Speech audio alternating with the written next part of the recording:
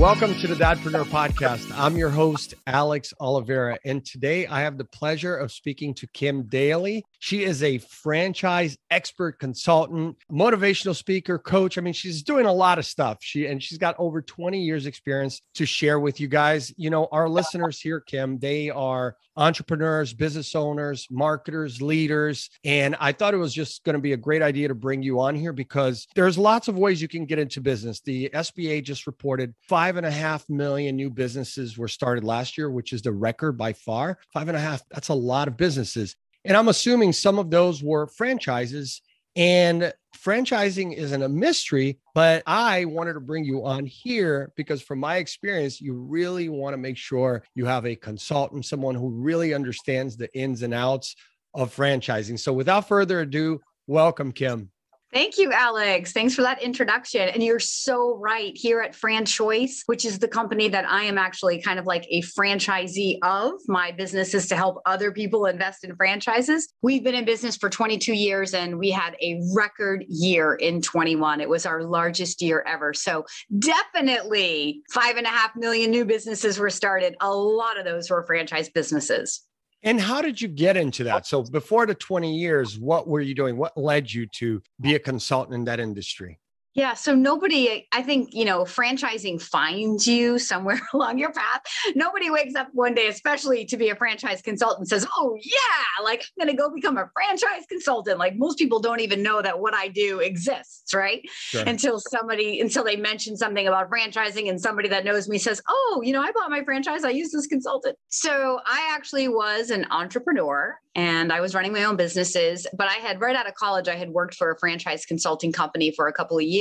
So I had some industry experience. I sort of understood what franchising was about, but I was an entrepreneur at heart and I wanted to go out there and conquer the world on my own. I'm a health and fitness girl. So I started multiple companies in about a five year period, sort of one thing led to another. And um, as you and I were talking, it led me to South Florida and I was living down there for a few years. But uh, when 9 11 happened, I, I wanted to move back home to New Hampshire. And I also found that as an entrepreneur, I was very lonely. It's very like make it up as you go. And there's nobody to bounce ideas off of. Even if you have a business partner, it's, you know, it's one or two people against the world. And um, I had so someone came to me and said, Hey, there's this thing called franchise, and I think you'd be really good at it. And I had been a personal trainer back in college. And I looked at the model and I thought, well, that's sort of just like being a personal trainer. You know, I'm coaching people through a process that changes their life. Only this time we're talking business ownership instead of fitness, something I had five years of experience trying to figure out on my own and absolutely knew that entrepreneurship was really hard.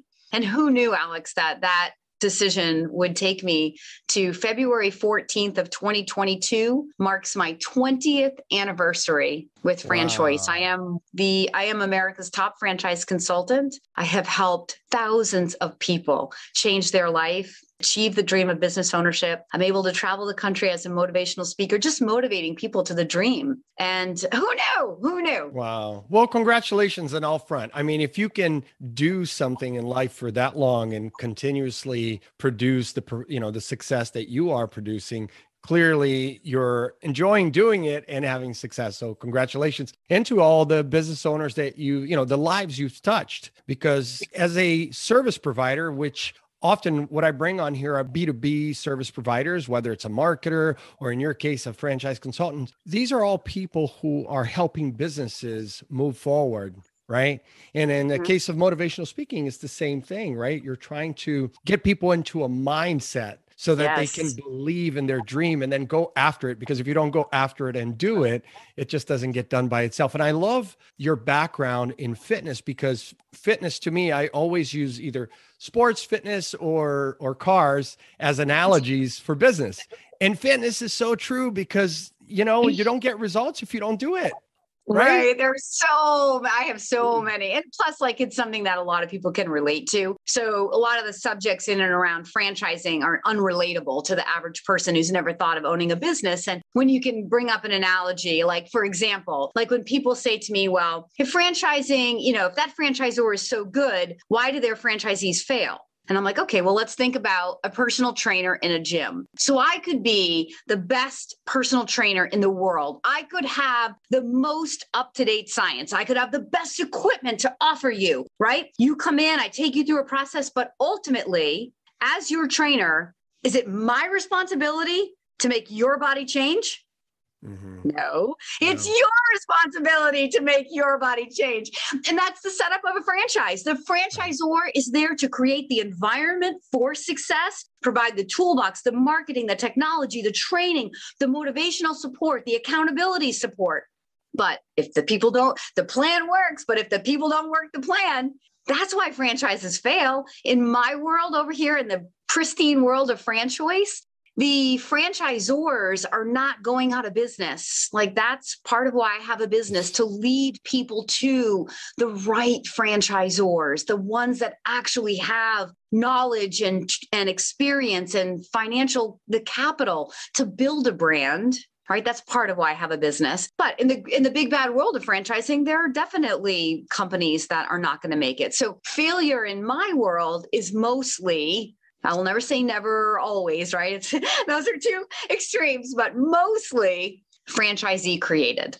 Right, and I think it's it's just like any other career choice. So if you're going to work for a company, I often speak to uh, you know college students, and I try to explain to them that you need to discover more about yourself, do a disc assessment, and find out what your emotional intelligence is, all that stuff before you marry yourself to a company or a career, because it may, may not be the right one for you. And in business, when I mentor entrepreneurs, I try to say the same thing like, don't get into something that you're not the right fit for. Maybe you don't even have the right skills or passions for that. And if you keep asking the questions, you might come to the conclusion that it's not right for you. But if you just kind of wake up one day and say, I'm going to buy a franchise or start a business here without really thinking it through, I think that's where people get into trouble. So, talk to me about how you help. Let's say an entrepreneur comes to you and says, I think I want to buy a franchise in the home improvement industry.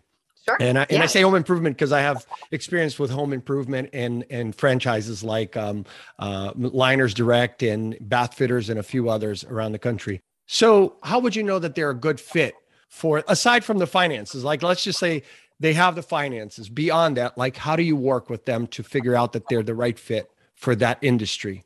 Yeah, I love it. So it's never my job to tell anybody that they're a fit or not. That is 100% on them. I, I'm not here to play God with your life. It's my mm-hmm. job to be the resource, to ask the questions and help you think the conversation all the way through. So when people come to me with an idea or without an idea, it doesn't really matter. Those with an idea, I'm going to say, okay, let's put the idea off to the side. The most important thing I want to know from my candidates is why are you thinking about investing in a franchise? I'm infinitely more interested in their why because that's the fuel to their dream. That's their personal power. Know why? This is just an intellectual exercise, right? right. Because anybody can explore but only 1% of the people can actually push through and say yes to that dream. If I'm investing my time with you, you're investing your time with me. I want this to be a worthwhile exercise. And sometimes it is just to sort of gain the knowledge to figure out now's not the right time, and that's perfectly acceptable.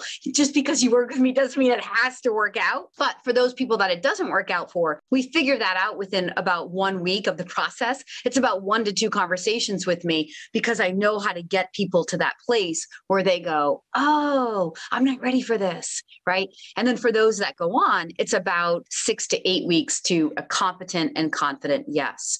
So when they come to me, Alex, I learn about their background, their interests, their skills, their finances. But again, the most important thing we're doing is a vision, a goals and dreams worksheet. We're, we're projecting forward three years, five years, 10 years. What are you envisioning?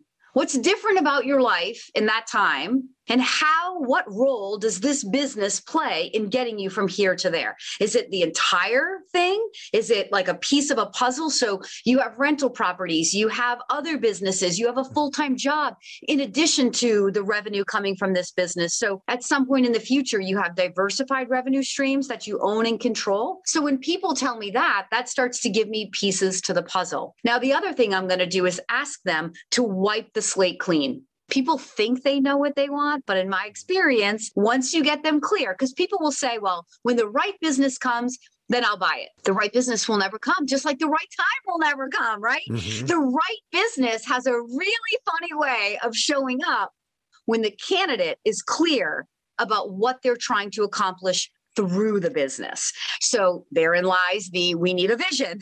what are we using this business for? Job replacement, investment income, passive income, building a legacy for your family, right? There's so many different routes and all of those things will determine what I start thinking about for you. So every business isn't run exactly the same. Some franchises need a full-time owner, some want mm-hmm. a part-time owner, some are less than 5 hours a week. So, first, we have to be clear on the role that you want to play, the skills that you have, the money that you have. Money, like buying a car, money creates options. You don't need millions and millions. You can start with 20, 30, 40,000. There's franchises in all different levels. Mm-hmm. But so I have to do the, these qualifying things first.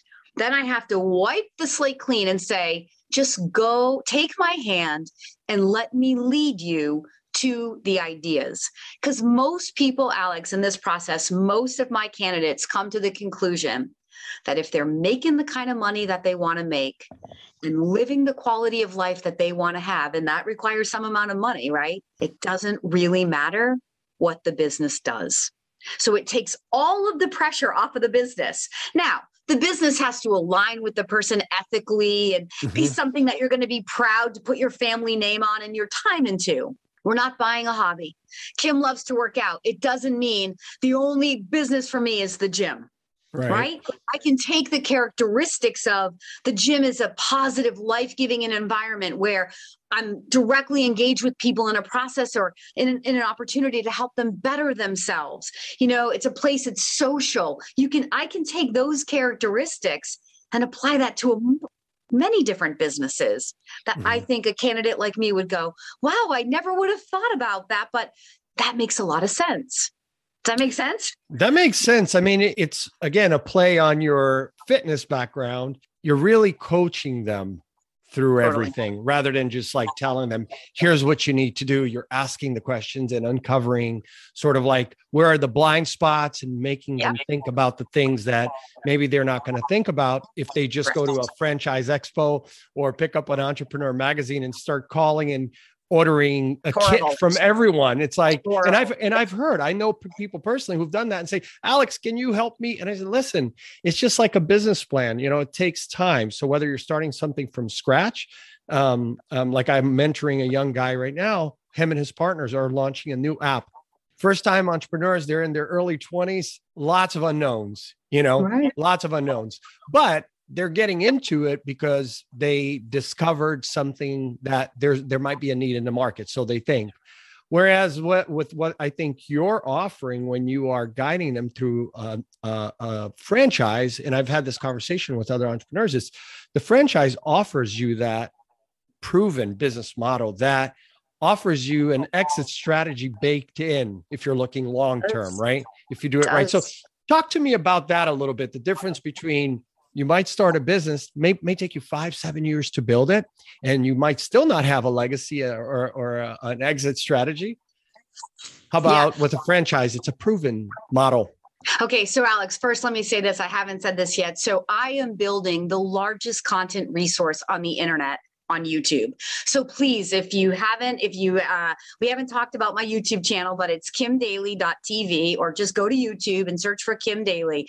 I have hundreds of videos on all topics franchising, business coaching, mindset coaching, dispelling myths, interviews with franchisors, interviews with franchisees. It is absolutely the largest content site right now, but it is only going up, up, up, up, up. So please check out my YouTube channel, kimdaly.tv. So to, to answer your question, the difference between an entrepreneur and a franchisee. So an entrepreneur, like your friends, they have an idea. A lot of people come to me and like, I want to own a business, but I don't have an idea. An entrepreneur has time. And an entrepreneur has to have patience, has to be uh, creative because you have to trial and error things, right? And a mm-hmm. lot of money. The reason that 90% of small businesses fail is not because people don't have great ideas. It's typically because they run out of money trying to figure out how to get this, get this thing cash flowing positively. Now, over here in the franchise, now, and I'm not like, I'm not totally pro franchising. There's a place for both. Listen, if we never had entrepreneurs, we would have no new franchises. That's right. Every every franchise starts out as an entrepreneurial business, right? Yeah. So in the franchise world, somebody's already gone out, flushed out the idea, figured out the the customer avatar, figured out the marketing, the messaging, the coloring, where to advertise, how much money to advertise, how long it's going to take to get enough customers calling or coming in to build a profitable business. They're going to be able to give you that proven business plan. You also don't have to have any experience. I don't need widget masters over here. I need CEOs. I need people that have sales skills, operational skills, management skills, leaders, people who want to focus on their business, not in the business. Mm-hmm. The entrepreneur will spend many, many years in the business. It's very hard to scale a business when you're in it. I can take an executive who says, Look, I'm looking to transition from corporate America where I make the half a million dollars a year how quickly can I replace that income in a franchise? Well, we can build out a plan from day one where, you know, with a plus or minus, but he can see and validate with other franchise owners that, you know, maybe it's five locations that all net to him a hundred, a hundred thousand, and he can get those five locations open within three year period. Mm-hmm right? How many entrepreneurs can get one location up and cash flowing and feeling good in in three years. Mm-hmm. Over here, I can take the executive, and in three years, he can have five locations. So it's about the scale. So we're compounding that because we're leveraging what somebody else has created, that toolbox. And that's what that franchise fee is for. The franchise fee, I call that the cost of entry. It opens the gate to Disneyland and it buys you instant access to the ready made business plan, initial training, technology, marketing, vendors, national buying power, branding, and and then ongoing support. Because it's not just about like teaching you a, a, license. If you buy like the license to use some a product you know you might get some initial training but then you're off on your own. Right. In a franchise, we pay back in a royalty back to the franchisor because we want that partnership that widget, that product or service has to adapt, has to evolve, has to keep changing with the times, with the customer, with the competition, right? So it's a business is a living, breathing, dynamic thing. It's not just a one and done. So in a franchise, you have this corporate entity, and it's their job to be making those big global decisions. And you're freed up to just focus on living your life, managing your team, scaling your business, and figuring out how to be successful locally but you're also contributing ideas back to a corporate office because mm-hmm. that's how franchisors learn. They learn from their franchisees, right? So one feeds the other, but that royalty payment goes back to the franchisor. That is their revenue stream. Franchisors are in the royalty business. Their their goal should be to drive up the average unit volume because that's mm-hmm. going to equate to more royalty payment to them. But the reason you pay that is for that ongoing support, for the betterment of this of this widget product business opportunity. Yeah, and I think it makes sense, right? Obviously, if you have a, a uh, the support, that business toolkit you were talking about, everything from financing to marketing and sales, uh, and all that training and support, you have to pay a fee, right? Um, and so, if you started from scratch, like if we did a, a chart on the pluses and minuses or pros and cons of starting on your own versus a franchise, it's very clear where there are advantages and disadvantages to both.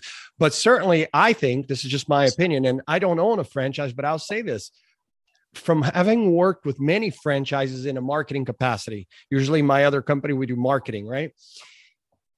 That there is a much lesser risk, eh, generally speaking, uh, if I'm taking on a new account that is a franchise that is a proven uh, uh, has a proven proven business model, even if it's a new market, versus if I take on a startup. If I take a startup, generally speaking, most of them, to your point, within three to five years, are struggling and they're out of money, out of time, and then they fold. Which is why I think again, franchising is always a, a great um, sector to work with because they know the customers too, right? Yeah, well, here's the thing. So, a franchisor that's backed by private equity can steal somebody from Madison Avenue to Mm-hmm. create real branding power versus an entrepreneur who has an idea to bring a widget to market who's probably not a marketer. Mhm. And then they're trying to figure out how to market their business. And they don't have deep, deep pockets to be able to build a brand around that. No. Most people don't, right? So Mhm. it's like it's night and day. When you zoom up above franchise, all franchises, I don't care whether it's Chick fil A, Ace Handyman Service, or some no name brand new pioneering franchise in, in plumbing, we'll pick plumbing. Every single one of those businesses is a sales and marketing engine. Sure. That's what franchising is. That's why franchising wins because every single business has to be in the customer acquisition business. And franchisors are 100% focused with their marketing, with sales efforts, using leveraging technology, but on customer acquisition. So when you look at that royalty payment and people say to me, oh, well, if I go do this on my own, I don't have to pay that, you know, 8% royalty. It's like, really? 8%? Ask yourself this question Do you believe that by being a part of this franchise with this this marketing and this tool and that track record no let me even said anything about the track record right? Franchisors have to disclose their success or failure rate to you. Mm-hmm. Franchising is a, a an industry regulated by the federal trade commission. So inside their franchise disclosure document they have to report that you know 4% of their franchises failed over the last three years or 10% the, the vast majority of the companies i work with are like upwards of 95% successful. So therein lies like why are you going to be in the small percent of the people that are not versus the very large percentage of people who are who during your due diligence process you have access to? You can Mhm. talk to those people to see what are they doing? Are they happy? Knowing what they know now would they do this again all right so that's just a tangent they have this franchise disclosure document but the the point i was making before that was regarding uh, marketing Mhm.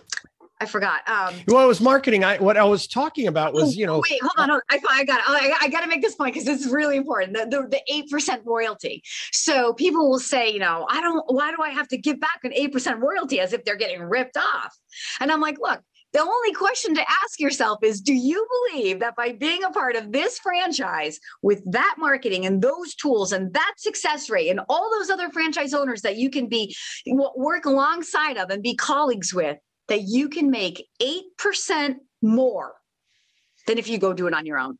I mean, before a candidate does any homework, they should be like, you know, when you look at, we'll pick a trade since you said home improvement, like CertaPro Painters, the largest painting company in North America, right?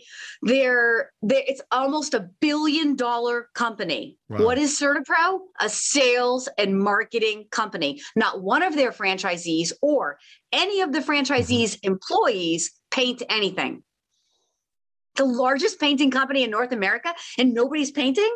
No. They're finding Joe Painter guy, Yeah. the trades guy who's good at what he does. They're out doing what they do, bidding on jobs, winning customer trust, and then feeding that that work to the tradespeople who are Mhm. contractors to them. So the average CertaPro franchisee does like, I don't know, one and a half million dollars a year. So when you're like, how can I afford to give 8%? Well, yeah, if you're comparing it to the average Joe Painter guy who's just painting job by, you know, but when you're looking at building a multi-million dollar business, 8%, it's like you you it doesn't matter.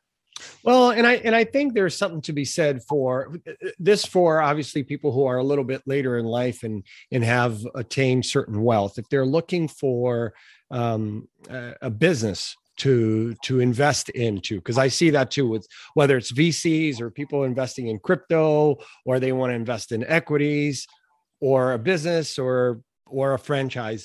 To me, when I look across all of those, if you look at the market today, over the last four or five weeks, there's been a, a huge correction, about 10%, especially in the NASDAQ. And and and I have friends who are day traders and some who are crypto guys. And it's like this roller coaster, right? And I'm not saying don't do that because I certainly invest across the board and even in real estate. And there's nothing that is guaranteed. Everything has its seasons. But when you look at um, franchising, most of the companies that we're talking about here today, whether it's CertaPro or uh, a friend of mine who owned a Dunkin' Donut, a bunch of Dun- Dunkin' Donuts, like those are services that are always in demand, right? They're always in demand. So not not that it's fail proof because let's face it, when there's a, a really tough recession, everyone suffers. But you're less likely to lose your investment than you were if you were investing in cryptocurrency or in the market, right? Right. Well, a franchise is a tangible asset. So, right. an asset that's building you equity, that's creating tax advantages. So, if we go to Robert Kiyosaki's book, Rich Dad Poor Dad or the cash flow quadrant, you know, you want to have those investments in tangible assets. That's right. So that's where franchising wins on that business side. But better than real estate, a franchise is better than real estate because it's producing business cash returns. So I mm-hmm. often meet a lot, I work with a lot of investors who have a lot of equity, but they don't have any cash. They're like, I need a business that produces cash, you know, but they don't want to put in a lot of time. So franchising also compared to entrepreneurship allows you to work on your business, the right one, not every franchise. This is part of why I have a business again, because I understand what franchisors are looking for people to be full time and what franchisors are okay with semi absentee, even toward almost absentee. But a business will, a franchise business will never be truly absentee. You know, mm-hmm. even in like a laundromat. We have franchises that are laundromats. Owners are still probably putting in five hours a week. Mm-hmm. To come in and get their coins and go to the bank. Yeah. so, but I mean, compared to entrepreneurship, again, where you have that, you you're going to be in it and in it and in it, trying to figure it out. I can take an executive mindset or somebody in the second half of their career saying, "Look, I've traveled the world, I've worked so hard. I want, I don't want to go from that to nothing." I want a little bit of activity, but I don't want to be 40 hours a week, even. Okay. There are franchises that can meet you at that part time or a little bit less than part time level, but where you still can build and scale something to that executive income that you're used to being worth. And then at the end of that, create a value that you can sell. Mm-hmm. Franchise businesses are going to sell faster than their entrepreneurial counterparts and for higher multiples. Why? Because there's more validation. That's right. The, the incoming buyer doesn't just have to look at your books and wonder, are these legit? They can go validate with all the other franchisees in the system. They can talk to the franchisor and look at the vision of this company and where this thing is going and say, okay, if I pay this four multiple or six multiple, you know, am I going to be able to get that back and then still make money on top of that? Based on where in the trajectory or the growth pattern um, you know the growth cycle that franchise brand is. So there's just a lot more due diligence that a buyer can do which gives and proof which gives your asset more value.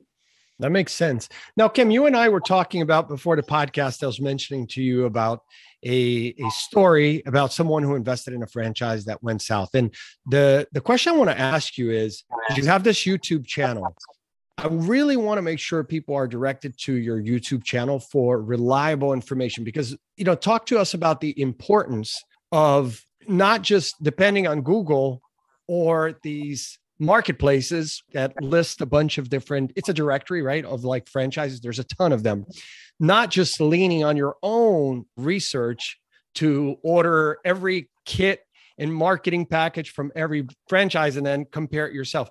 So, the importance of having a consultant like yourself, but also of choosing a, a, a channel to do your research, like your YouTube channel. Oh, thanks, Alex. So, yeah, I mean, I take my business really, really seriously because what I do it saves people money and heartache, not to be overly dramatic, mm-hmm. but it does. Not all franchisors are created equal. And when you have someone like me that has 20 years of experience, and mm-hmm. ultimately, mm-hmm. guys, when you look at when you invest in a franchise, what are you actually buying? What you're actually buying is a partnership it's people. The brand, the widget, the service is only as good as the people and the leadership behind that. So that's why we come away from the I want to, I love the gym, I got to own the gym to let's find people that you can connect to, that you feel have the business acumen that you can rely on and that have training that's going to help you get up this learning curve and that are financially stable so that they have enough money to build this franchise brand because it costs a lot, a lot of money to build a franchise brand. It costs a lot of money to build a brand right? So my job in the beginning is to get to know my candidate and figure out like among the 3 or 4,000 options out there like what are the best 3 to 5. But then my job is that you're going to be leveraging my relationships mm-hmm. right so sometimes people will say well am i limited if i work with you kim you can look at it that way, but all right, I prefer that you look at it like your time is maximized with the best of the best franchisors. Look, I'm not going to bring you a franchise that couldn't figure out how to get through 2020. Like, what a waste.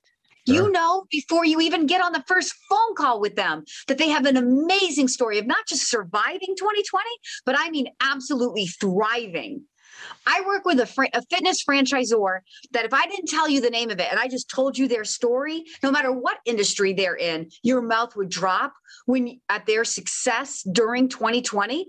When you find out that it's fitness, you you would be like, "There's no way this information right. is true," and it's totally true. But how would you go? You'd go look at the F45 or the Orange Theory, and it's not any of those brands. It's a different one right? It's one that has 10 different brands underneath it. I know which one it is. I just came back from a conference with with Franchoice's top 100 franchisors.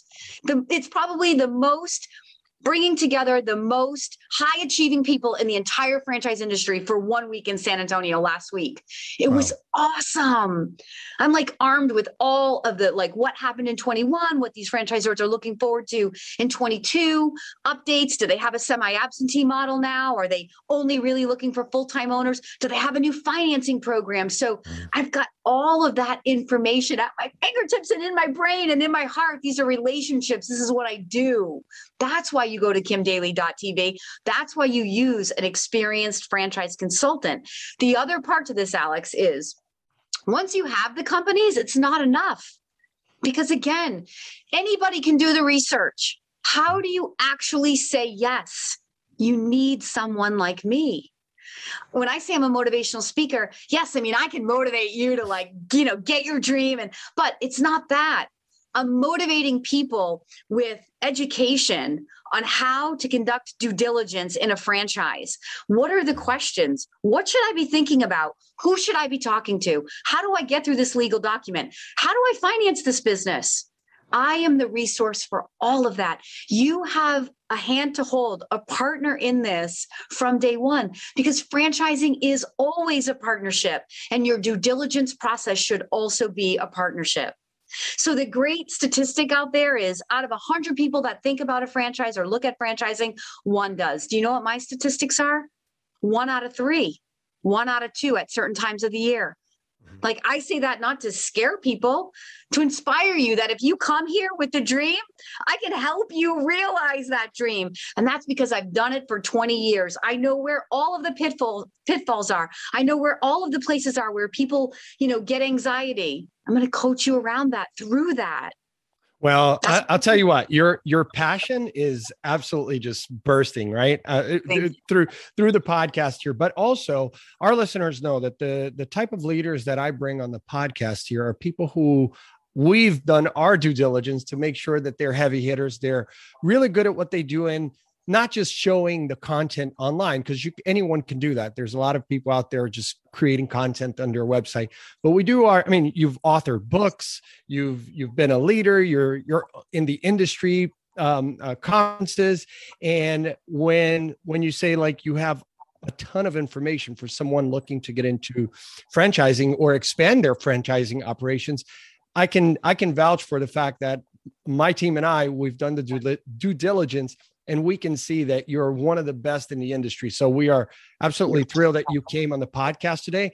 And we want to thank you for everything that you're doing to inspire those small business owners to grow.